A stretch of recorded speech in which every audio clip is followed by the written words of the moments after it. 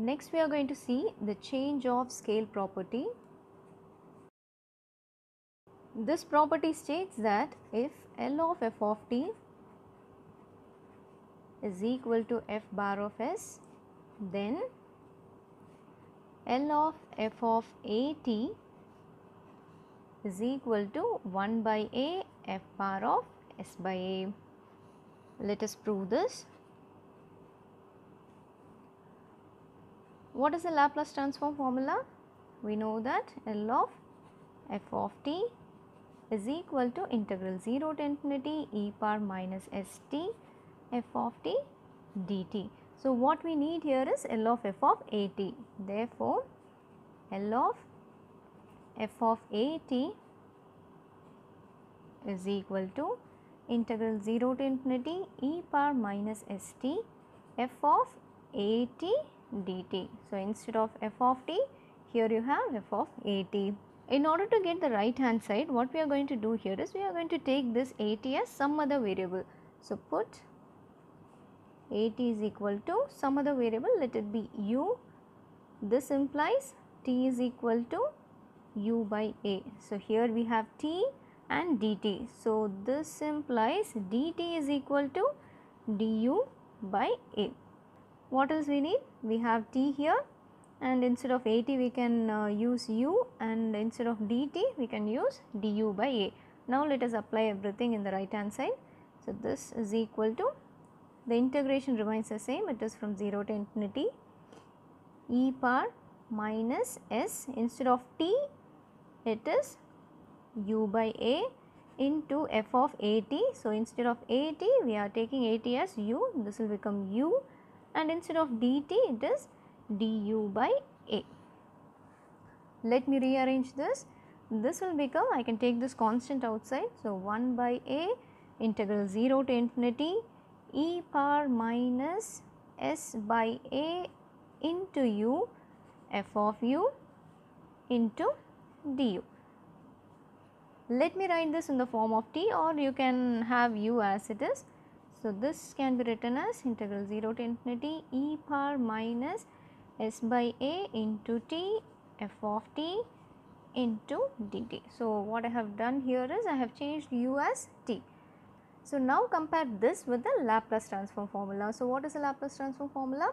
L of f of t is equal to integral 0 to infinity e power minus s t f of t dt. So, instead of s you have s by a and uh, everything else remains the same. So, you can write this as 1 by a f bar of instead of s you have s by a. So, f bar of s by a and hence the proof.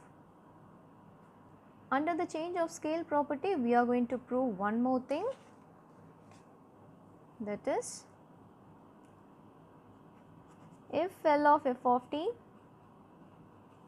is equal to f bar of s then L of f of t by a is equal to a into f bar of as. So, we need to prove this also. So, we know that what is the Laplace transform formula L of f of t is equal to integral 0 to infinity e power minus st f of t dt. Therefore, what we need here? We need here is L of f of t by a. The proof here L of f of t by a is equal to integral 0 to infinity e power minus st f of t by a dt. Looking into the right hand side we do not have any fractions. So, I am going to take this t by a as some other variable. So, put or let t by a is equal to some u. So, this implies t is equal to we have t here. So, this t will be equal to ua which implies dt is equal to a into du. Let me apply everything in this right hand side. So, this is equal to the integration remains the same it is from 0 to infinity e power minus s instead of t we have u into a f of t by a is u this is f of u into instead of dt it is a into du this can be written as I can take the constant outside. So, a into integral 0 to infinity e power minus s into au f of u du. For our convenience, let us change this u as t. So, this will become a into integral 0 to infinity e power minus as into t f of t dt. Now compare this with the Laplace transform formula. So, what is the Laplace transform formula? L of f of t is equal to integral 0 to infinity e power minus st f of t dt. Comparing with this, except for s, everything remains the same. So, this can be written as a into f bar of instead of s we have as f bar of as. So, hence the proof. Next let us see some problems under change of scale property. The first problem will be given that L of sin t by t is equal to tan inverse of 1 by p. Find L of sin a t by t.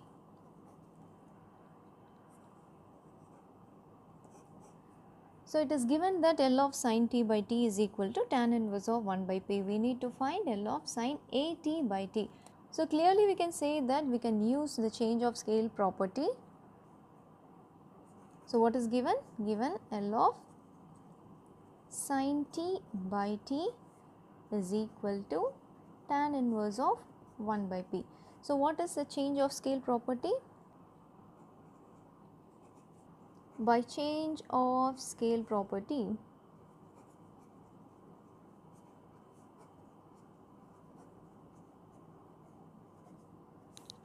L of f of t, L of f of a t is equal to 1 by a f bar of s by a.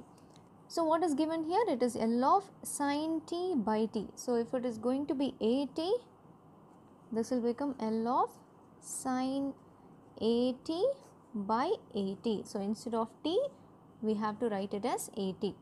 This is equal to tan inverse 1 by a f bar of s by a. So, it is 1 by a. What is f bar of s by a? f bar of s is tan inverse of 1 by p. So, f bar of s by a will be tan inverse of 1 by p by a. So, tan inverse of 1 by p by a. Moving to the left hand side, we can take the constant outside. This will become 1 by a L of sin a t by t which is equal to 1 by a tan inverse of a by P. we can cancel this 1 by a and 1 by a. So, this implies L of sin a t by t is equal to tan inverse of a by p. So, this is the answer and this is how you have to use the change of scale property. We will see one more problem in this second problem.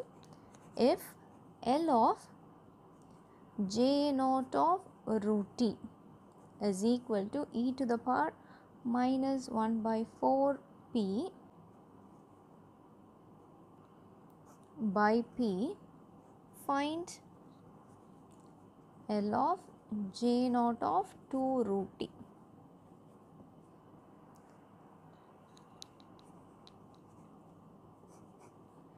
So, here what is given? L of j naught of root t is equal to e to the power minus 4 1 by 4 p by p. So, this is what it is given and we need to find L of j naught of 2 root t. We know the change of scale property. So, we know that L of f of a t is equal to 1 by a f bar of s by a. We are going to use this so, what we need to find? We need to find 2 root t. So, how can you get 2 here? If your a is 4, root 4 will be 2 so you will be getting a 2 here so we are going to use that so L of j naught of instead of a I am going to apply 4 so this will become root 4t